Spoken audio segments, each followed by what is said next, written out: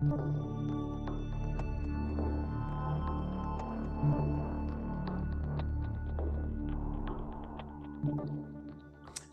and welcome everyone to the Wall Street Blockchain Alliance's crypto roundup for Friday, September 13th, 2024. Ron Quaranta here with my amazing and genius co-hosts Joshua Ashley Klayman and David Brill. Uh, again, my friends, we've had to blow up the agenda because there's so much new news, economic data, regulatory updates. Before we begin, for everyone in the audience, thank you all for joining us. Our usual disclaimer is obviously nothing we're discussing should be considered any type of advice and our opinions are our own. They don't necessarily represent our respective firms. With that, Josh, David, let us kick off. It's been a busy week. Summer is over. Um, for everyone who's watching LinkedIn Live or Twitter or YouTube, if you've got questions for Josh or David or I, please put them in the chat. We'll address them as soon as we can. Uh, David, how are you, brother? I'm great. How are you, Ron? I'm enjoying some warm weather here in South Florida and uh, you know, the Bitcoin markets decided to go up uh, today for us. Uh, yeah, we're almost near 60K. So, uh, good way to start off the weekend. David, we've got some economic data to cover, but Josh, if, if uh, and I know we didn't do much prep because the three of us have been running around quite a bit. I wanted to kick off with a little bit of the stuff that's going on from a regulatory perspective and a legislative perspective. The Coinbase case keeps moving forward. I wanted to raise some of what you're seeing from a regulatory perspective. And I think the, the other thing the three of us need, really need to talk about is uh, not too political, but the presidential debate was mm-hmm. this week. Uh, and I think the three of us wagered that there would be no comment about crypto, uh, and there was no comment about crypto. But Josh, you know, start us off. What are you seeing in the space from a regulatory and legislative perspective um, that you think is important for us to consider? You're on mute. Wow. Well, that's that's pretty broad. There's a lot to consider um, at this time. I think, uh, you know, based on the debate and reactions to the debate, I mean, many say that the debate favored Kamala Harris. Um, and some have said that there was insufficient fact check fact checking of Kamala Harris and that um, the moderators really took somewhat of an activist in some mm. people's view role Mm-hmm. Um, we are yet to see, you know, how this will play out in terms of the next. We know that there will be at least one um, debate. It sounds like perhaps there will be more than one. There wasn't an opportunity that seemed um, logical to have crypto come up, but I do recall because I did watch the debate. Um, I do recall, I, I, believe, Kamala Harris referencing things like AI, mm. and at least in one exchange. Now, I may be mistaken, um, but who knows what future debates will bring. What I what I do think is important though is as we as we think about what each candidate has stood for with respect to crypto yeah. or not, I think we're still waiting for Kamala Harris's position on this, really. Um, as we are, or as some may say, we are waiting for certain other positions as well. Um, certainly, we know what at least former President Trump's stated position is with respect to crypto. Um, but I think this is an important, an important thing to think about. Um, some other things. Certainly, we saw the the settlement just yesterday yep. with uh, with eToro, and that was an interesting settlement, right? Where we now know that um, the only three tokens that eToro will allow US customers to transact in following, I think, a 180 day period during which they can sell off other assets that they have are Bitcoin, Bitcoin Cash, and ETH. Mm-hmm. Um, I would just say, with respect to this, we shouldn't draw too many conclusions, if any, from this settlement because from the face of the cease and desist order, it says that eToro proposed this settlement right? And the SEC accepted. We have no idea what, which, if any, how many tokens the SEC may have alleged were securities or the subject to security subject of securities transactions. Right. We don't know anything like that. We also don't know what uh what the negotiations were like. We don't know what eToro's motivations were. Um and whether they planned to use, lose leave the US anyway. I think I saw figures saying something like there were about 240,000 US customers of eToro anyway. So mm-hmm. that's relatively small when compared to other trading platforms. Yeah. I think maybe the last thing I'll say on this, I won't go into every like possible thing. Um, but you know, I think it's important to remember in a case, and we have cases ongoing right now, you have to prove your allegations. And here, not only were no allegations proved because there was no ad- admission or denial of of liability, but also um, there were no allegations made as to any specific tokens. So I think that's important to remember. There was, I think, a $1.5 million fine, but maybe I'll just pivot off of this because there's so much more to talk about. I mean, Josh, to that point, and it's a it's a good case to reference, and I and I I'm I'm with you. Like, there's a lack of detail, but David, I, you know, let me ask you because when you look at some of the media reports, I was stunned at how some outlets that I won't name, mm. um, or the usual talking boards mentioned this, which was, oh, it's a clear, it's a picture of the SEC's mind that these are commodities. I mean, do you agree with Josh that I mean, that may not necessarily be the case? No, and look, we have to remember litigation is expensive. It's time consuming, um, and they may have just, you know, done a cost benefit analysis and decided that the millions of dollars they're spending in fees and the time that they're spending within their company resources on this litigation just wasn't worth you know wasn't worth this effort um, i i do read that that, that etoro being allowed to you know have eth on their platform is something that they're sort of either tacitly or or you know very formally saying that eth isn't a security because otherwise it would have just been bitcoin and bitcoin cash mm. as part of the settlement so i do think uh, as the optimist that I am, uh, you know, I do think this is a more clearer path for ETH in addition, you know, with the ETF that we had, because there's no reason why they would settle this uh, and, and allow ETH to be sold on the platform unless they were comfortable with it. So I think that's an important detail. Josh, yeah, go ahead. I would just say, in terms of, and I agree with what David said, in terms of resources, right, and the costs, it's not just on the company side, right? Resource constraints also exist, presumably, on the government side. Right. And so, yeah, that's why I say, like, we don't know what the negotiations were like or what kind of calculations or calculus was done about you know likelihood of of of different outcomes but yeah i agree with david i, I would say seems like a plus for mm-hmm. for the status of ETH as far as um, whether the SEC views it as a security. Josh, David, thank you so much. In the past couple of days, there have been some other cases. I, you know, I think Uniswap was one we should get to. I have to confess to not having caught up on the case. But one of the other things, David, uh, that caught my eye was uh, I believe it was the chief accountant at the SEC um, made a speech, I think earlier this week or, or late last week um, on SAB 121 and mm. the broad takeaway was that their perspectives haven't changed. And they delineated, it seems, some exceptions to SAB 121. David, you know, you and I and Josh have had this conversation a lot. Is this, once again, does it seem to be the government picking winners? Um, what's your perspective on some of these statements? You know, it certainly feels that way. Um, I think this process has been a little disappointing.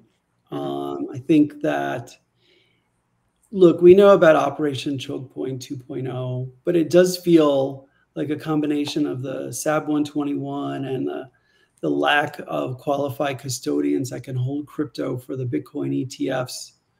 Uh, shout out to tZERO for getting approval to be a qualified custodian. Yep. But you know, this combination, I, I think it, it feels just like blocks that are just being put up for you know to prevent the industry from expanding right now.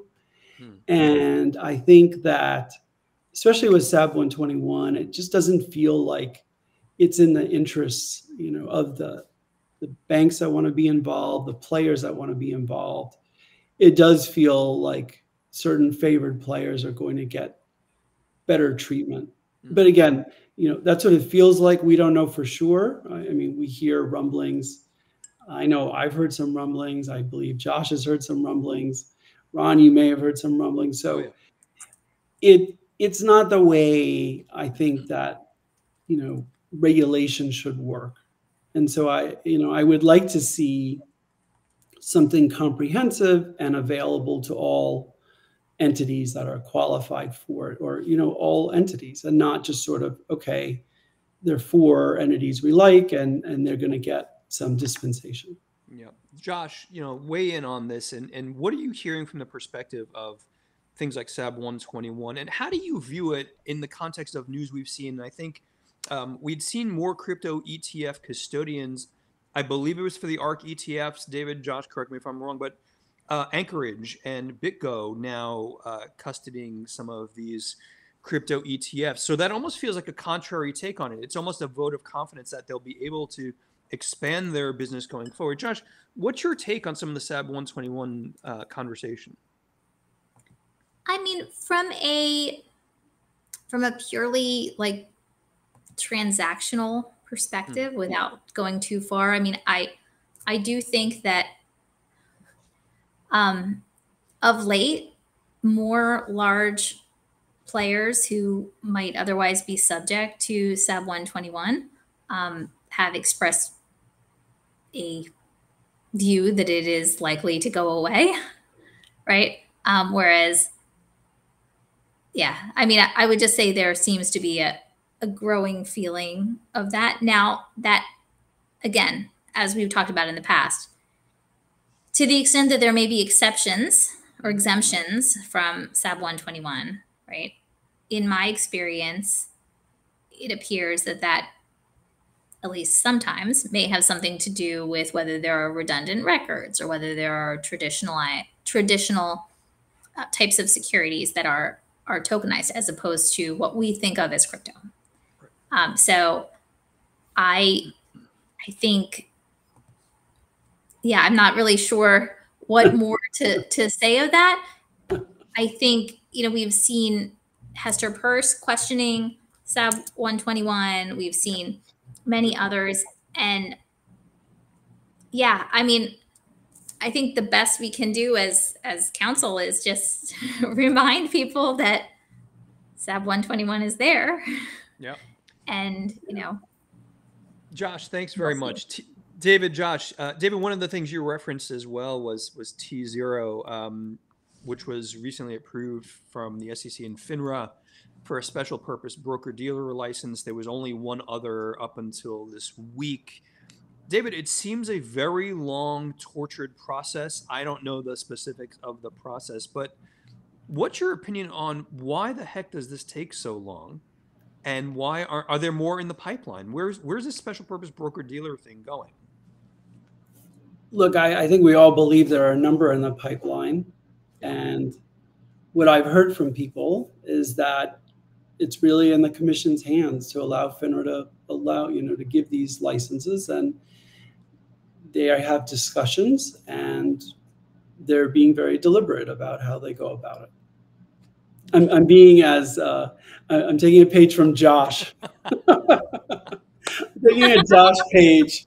I'm giving you, uh, I'm giving you an answer, a very lawyerly answer, you know, leaning into my lawyer side. But uh, that's really, I think that's the bottom line, Ron. I think that there's the potential to give a number of these licenses, and they're just being very deliberate in their process. I love my lawyer friends, but every once in a while, the non answer answers are really hard to digest, but I totally get it. David and Josh. David, Josh, let's pivot to to some other stuff that's uh, happened this week. And uh, David, Josh, the three of us have been texting as usual about um, the usual mayhem in markets. But David, when we look at the economics of what's happening in this space, next week is a very important meeting. Uh, the Federal Reserve uh, Federal Open Market Committee will be meeting, I believe, we all believe, for an interest rate cut. Uh, as I've often joked with the two, three of us, uh, no more wagers, David, but we could be looking at a 25 basis point interest rate cut. We could potentially, I think there's a, a minimized chance of a 50 basis mm-hmm. point interest rate cut. What are you seeing coming up next week, David? And what how do you think the crypto markets respond to what might happen? So my crystal ball feels pretty clear that we're going to get 25 and not 50. Yeah. Why? I well, I'll tell you, it's something we've talked about here time and time again. Yeah. I think that there's less of a focus now on inflation and now more of a focus on the labor markets. Hmm. And I think that's come to light because of all these revisions that have come month after month that show a different view of the labor market. And also that for some particular reason in this last month, you know, some food prices have normalized a little bit and are not continuing to go up. And so I think a narrative, is, this narrative is forming that, you know what, job losses are increasing, you know, uh, claims are going up, and we need to focus on that, and therefore, um, you know, go to 25 and you know instead of 50, but fo- more of a focus on that. But one, two things I also I'd add is like this should have been done in July, right. um, and we've waited too long, and uh, you know, I it's unfortunate. And then I think the other thing is that I think Jerome Powell's been very consistent in his messaging. And I don't know that anything has changed dramatically in these last two months or the last few weeks to necessitate 50 basis points. And, and the last thing I'll say is, you know, we are coming up an election, and I know it's not a, you know, you know the administration is not directing, uh, you know, Treasury on what to do, but all things being equal, I think 25 in this in uh, you know September makes sense. Josh, weigh in on this. Tell us what you think. And I know you know the macroeconomics aren't something you look at on a day-to-day basis, but I'd be interested in your perspectives. So, in terms of perspectives, I I would just say I don't know that this is my perspective because I don't. I think you guys are much more informed on the likelihood of different percentages of a cut than than I am. Mm-hmm. Um, however, I will note that there is an article um, as of this morning at 9:15 a.m. on CoinDesk called "Odds of 50 Basis Point Fed Rate Cut Next Week Jump to 45 Percent." Mm. So it seems like um, that, at least the last time we spoke, it was sounding like 25 was was like a stronger. Uh, there was a stronger view that it would be 25, whereas now it seemed to be going up to uh, 45% at least based on this um, kind of CME. I think the CMEs, um, I think those numbers are coming from the CME Fed Watch. Yeah. Yeah. It says uh, shortly following an article that was published in the New York, in the Wall Street Journal, um, that shortly after that article, the chance of the Fed slashing 50 basis points next week per CME Fed Watch, which tracks positions in short-term interest rate markets, jumped to more than 40%, percentages in the high teens just a few days earlier. At press time, which is this morning, the odds of a 50 basis point cut had risen a bit further to 45%. Yeah. So I think, yeah, your guess is, is probably better than mine. Um, let's hope for 50 basis points. So, David, Josh, thanks so much. David, I'm going to push a little bit on one thing, and, and you and I have had this conversation many, many times. Uh, and again, for everyone in the audience who's joining us, thank you so much. If you've got questions for Josh or David or I, please put them in the chat.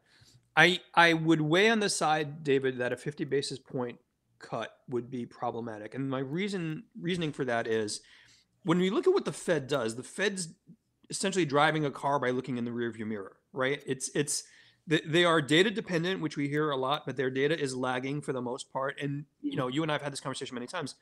Often problematic from a revisions perspective. The data that they're looking at, even the inflation data you were just talking about, David. Inflation's moderated, but core inflation was still slightly up more than they anticipated, and a lot of economists are sitting back saying, "What the heck does this mean?" David, my big concern from the market is if the Federal Reserve cuts interest rates 50 basis points, that's going to look panicky mm. that's going to look like something not good is happening and it's not ha- and it's happening much more quickly than the fed realized and let's be candid most central banks especially the fed are either overreact or underreact because they simply can't react in time. David am i wrong? No you're not wrong. Um, i look we've talked about it before. I think that the economy for lower to middle income earners is tougher and tougher by the day because all of their staples cost more and more. Food and shelter, electricity, gas. Yeah. You know, for those of us who travel a lot, you know, flights, hotels, all of these things are more expensive. And these aren't things you can cut back on. Right. It's not like, hey, I'm going to eat less. I mean, like these, those are not things. It's not like, oh, I'm going to go out to dinner less. It's just that could be a thing for some people, but the bottom line is like the core things are more expensive. Yeah. Also, I heard somebody say that I don't know if you've noticed in some places now, um, companies can pass through the fees you pay on when you charge something at a store. Like I don't know if you've noticed that, but you could see I've seen it in pizza places and other restaurants that if you use your card, you know, they can pay another 3%. Yep. So that was something that the restaurants or other stores were eating and now consumers are eating. So, you know, that's another 2 or 3%. I don't think that's really accounted for, but you know, if you want to pay by card at a restaurant or a pizza place or something else, now you're, you know, you're paying 2 to 3% more for that. So incrementally, things are definitely going up. And so um, I think that's you know problematic. And the last thing I want to say is these high interest rates have really locked people into their residences mm-hmm. because you know if you have a great mortgage, what's the impetus to sell your place uh, to get a new place? Maybe you make a big profit, but then you're gonna you know eat a mortgage that might be three times the rate you're paying. So there are all these intertwined facts that are going on and details going on, but ultimately, I totally agree with you, Ron. I think that would be panicky. I think it would be good for the crypto markets because it's a liquidity issue and a borrowing issue. And I think the you know crypto markets would react very favorably to that. But I think outside of our industry, I it's not the signaling I would want to see. David, well, thanks for that. David, well, do you go, Josh? Go ahead. I'm sorry. I was just going to say. So I agree with the the potential for looking panicky, but I do wonder if people are predicting that it's going to be a 50%, I mean, sorry, a 50 basis point cut, mm-hmm. and then it's not, and say that 45% goes up to 60% or some other percentage where it's a majority. I mean, yeah. 45% is already sizable, right? Um, how do you balance that? I mean, does does the aspect where it might look panicky does that outweigh the fact that people may be pricing in the potential for a 50 basis point cut and then be disappointed. Like, I feel like that ship has sailed about looking panicky or not to a certain extent. I, I don't necessarily disagree with you, Josh, but when you look at the kind of predictive markets and kind of the the economist consensus, a week ago it was 50 basis points is a lock. It's the majority of economists.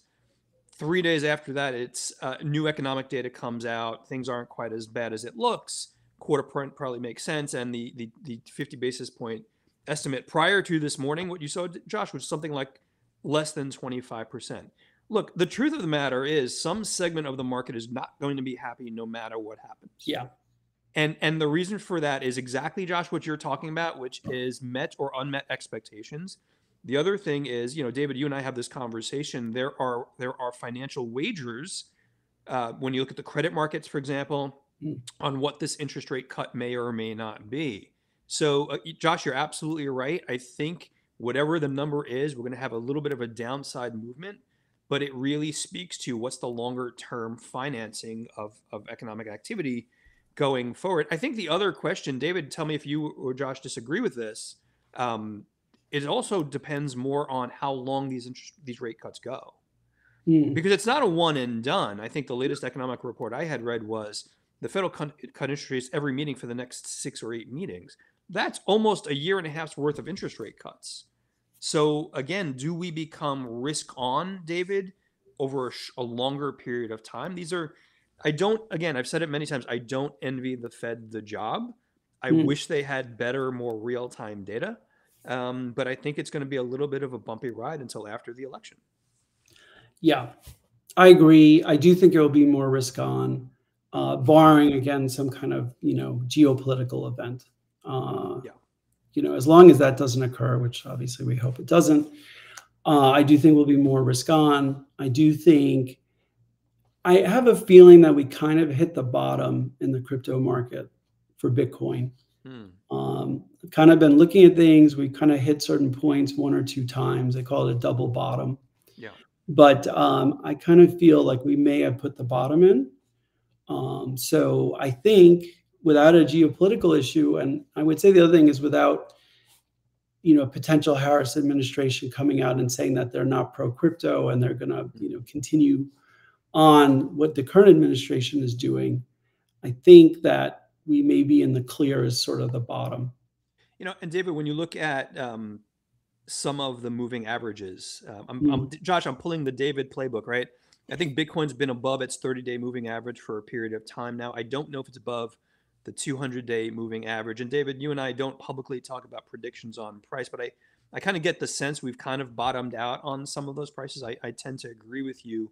Um, and I know, David, we've only got you for a few more minutes. You've got a hard stop. The Gulfstream is waiting on the tarmac. Um, but David, you know, where do you see some of this going? Again, we're not making predictions, but uh, and I'm not talking about the steak dinner bet, um, but you know, where do you see the the crypto market going over the course of the remainder of the year? Well, look, we've been in this trading range. Some say it's like 50 to 65,000 in Bitcoin. Some say it's 53 to 70,000. I, I want to point out, Josh, that we lost David right around where I was asking him where the price points are going to be. Um, and I suspect he'll be coming back. Um, but I just wanted to ask you as well, you know, uh, what are you seeing in the marketplace? Again, I, I know you can't bring up specific names or specific clients per se, but I had a conversation with a, an attorney friend this week, very much focused on the same space. And his comment to me, Josh, was he's never been busier working with really important, legitimate, well funded projects. What are your thoughts about some of this? I mean, I think now is a very busy time. You know, I think, and I would agree. I think as opposed to, I, I don't want to say that there aren't still early stage companies. Of course sure. there are, right? Or VCs would it would cease to exist, right? Yeah. Um, there'd be no one to invest in.